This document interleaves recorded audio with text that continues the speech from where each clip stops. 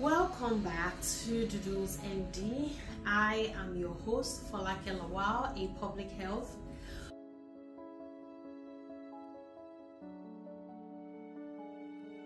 digestion and this week we're going to be talking about the accessory organ system um, which is the hepatobiliary system and in the accessory you know we have the teeth the tongue salivary glands the liver the gallbladder and the pancreas so in um, before we move into a lot of things first when we talk about the functions we know we have the teeth, it just helps us to chew and break down food mechanically. We have the tongue, which is the muscle, it helps in talking, but in digestion, it helps to roll food down um, through our throats.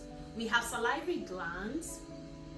We have three pairs, um, yes, three pairs um, of salivary glands, and this just helps to secrete a fluid that lubricates the food when we're chewing, when we're swallowing. It also contains an enzyme that helps to start the digestion process, especially for um,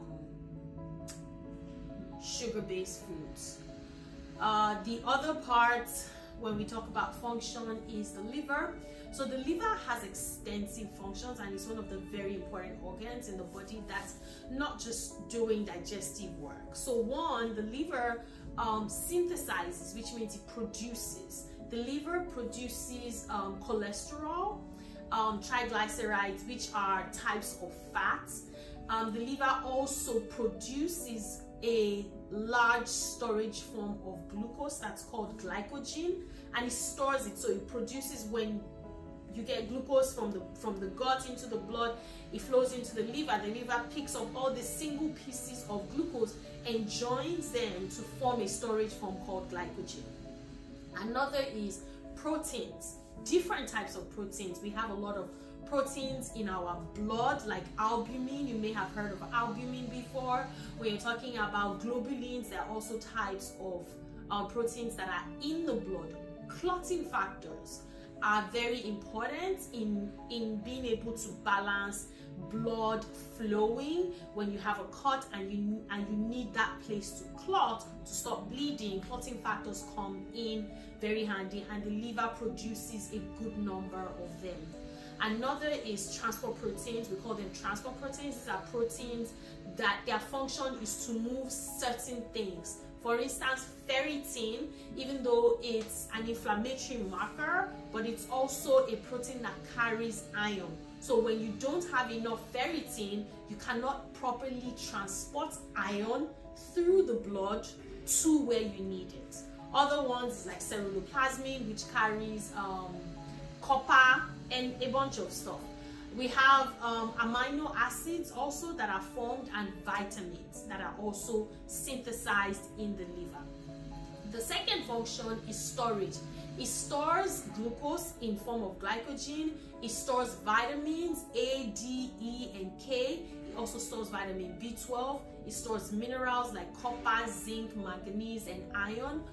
The third function of the liver is detoxification our excretion. It helps to process um, things that could harm us or that we don't need anymore, like medicines, alcohol, hormones, ammonia that we produce. We get a lot of ammonia from meats or nitrogen-rich um, plants. So all of these things can be harmful to us if they are in a certain state. So the liver processes or metabolizes them and then excretes them also through the bile um, and it goes out into the feces.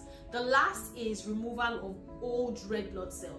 A red blood cell spends 120 days. That's the life. That's the normal lifespan. And once it gets old, it gets um, broken down in the liver. And here, some of the byproducts of the heme is because it has heme and globin right? And globin is one of the things like I said the liver produces. So the heme gets broken down. And that's part of where we get that greenish yellow bile. Um, the other part is the pancreas, which uh, produces digestive um, juices to aid in digestion. the other part the other function of the pancreas is production of hormones that either help in regulation of glucose production storage breakdown um, also it produces hormones that aid in bowel movement and blood flow the gallbladder is another one which it's just a sac it's a muscular sac that stores bile and releases as needed into the small intestine Next, we're going to talk about the structure of these organs.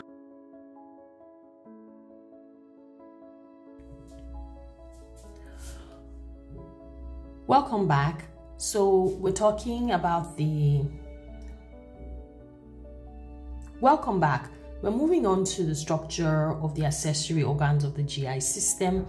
And here I'm going to be focusing on the salivary glands, the liver, the gallbladder, and the pancreas. For the salivary glands, there are three pairs of them, um, one set on each side of the face. One is here right in front of the ear at towards the back of the jaw. Another one is underneath um, the tongue. This one right here is underneath the tongue. And then the last one, the submandibular, is right under on the inside of the jawbone and these um, glands produce saliva the consistency varies with the stimulus and the saliva goes through the duct this one releases into the side of the cheek and the other two on the bottom um, release their juice on through the underneath um, undersurface of the tongue so the saliva is helpful in moisture, in keeping the mouth moist, um, lubricating food and aiding um, swallowing and digestion. When we come down to the liver, um, it's located on the right upper side of the belly. The diaphragm would be somewhere right here and it will be under that where the ribs are. The liver happens to be the largest and the heaviest organ in the body it weighs about 1.5 on kilograms on the average the widest width of the liver is about 15 centimeters which is six inches we can see that blood multiple blood vessels are going into it. And here this is the inferior vena cava. This is the big blood vessel that connects to the heart. This is the big blood vessels that comes down from the heart. And this gives blood into the liver through the hepatic artery.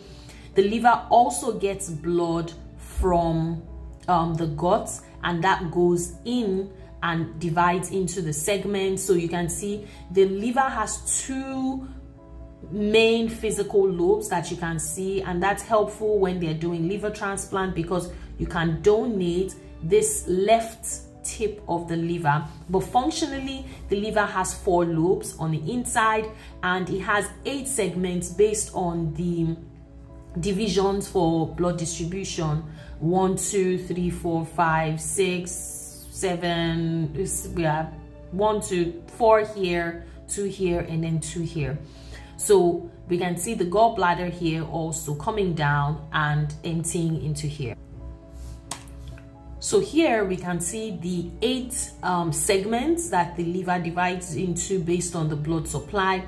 And each of these segments, um, the blood vessels now divide into tiny, into tiny um, lobules that are like tall sheets and columns of liver cells packed together with blood vessels running in between them. So you can see this is kind of like a schematic um, representation of you can of cells and then the blood vessels are going in between it. And the lobule contains millions and millions of cells because it will run all through the length of that segment.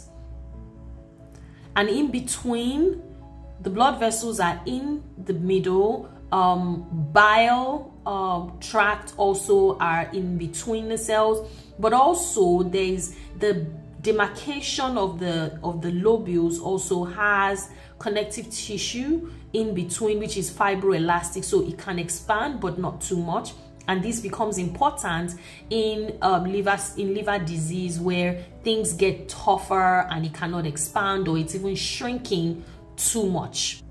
So if we come here and look at like a cut section of the lobule, the brown um, representations here are the liver cells. Here we can see the um, on the per on the on the outside where you have the three vessels, right? The um, hepatic artery, the portal vein, and then you see the the bile tract. Is called the portal triad right? Three of them are on here. And there's a funny this is not a good schematic but there's a funny um picture that we get on ultrasound where it looks like a mickey mouse head where the the hepatic the portal vein forms like the head of mickey and then the biliary tract and the hepatic artery kind of forms the ear so it gives that um, view. But here on this side, you can see the arrow that this blue one, which is the portal vein, dumps its blood and it's flowing towards the middle. The artery also is flowing towards the middle and there's a diagrammatic representation where the red and the blue are forming purple. But as they are flowing through the cells, so many things are happening. Oxygen is taking out, nutrients are taking out, waste product is put in, um, uh, and um, carbon dioxide is also put in now we can also see here on this side that this arrow is flowing out. So bile is flowing to the other way in the opposite direction as the blood and that collects in the bile canaliculi. The bile canaliculi empties into the biliary duct and that flows out. Going to the pancreas here we can see that it is on the inner part behind the uh, the stomach and the blood, um, the ducts that's emptying the pancreas joins with the bile ducts and then opens into the second part of the um, small intestine. Finally, here is just a schematic of the uh, biliary tract system, emptying and bringing um, bile out. Some of it goes into the gallbladder for storage and the rest can come directly into the intestine um, for digestion. So with that, we would move on to the process of uh, supporting digestion with the accessory organs. Now, uh, we're going to talk about the process. Um, so first, when we're starting from the mouth, we know we have the salivary glands. I mentioned that we have, um, we already talked about having three pairs of them. And these respond to stimuli from either taste, smell, or thinking about food, and they produce um, the juice they have a gland it's a gland and they have tracts that open into the mouth and release. And sometimes this can get blocked or they can get inflamed or infected. If you've ever seen a picture or somebody that has mumps that's um, inflammation of the pancreas of the salivary gland in the back here. So that can happen there. When we move down to the liver. So the liver gets blood flow from two places. One is the blood that's coming directly from the heart, which is the hepatic artery, but it also gets blood flow from the gut. More, a lot of the blood that's going into the liver is actually from the gut because it's carrying a lot of this nutrient rich food um, into there. And so when it gets there, the the structure of the smallest part of the liver they have cells that are lined up. It's kind of like in a hexagonal shape and it has like a center. So the center blood is flowing from the outside in passes through the cells and goes in towards the center right and as the blood is passing through you know it's bringing in this nutrient rich oxygen rich foods. The cells do what they need to do. Either they are um, removing toxins or they are taking out uh, the glucose um, pieces of the uh, fat small fat molecules to produce cholesterol and things. And so they are taking they are releasing and doing all of the things they need to do and the blood flows towards the center. In the center is where you have they call them a centriole. Center wall basically. And um, these collect the blood that now is going to return to the heart. So all of these collect together and they form the hepatic vein right? Now where does the bile come in? On the outside right where you have the two blood supply that comes in which is the portal vein and the hepatic artery. The bile duct is also on that. So they form a triad because it's three of them.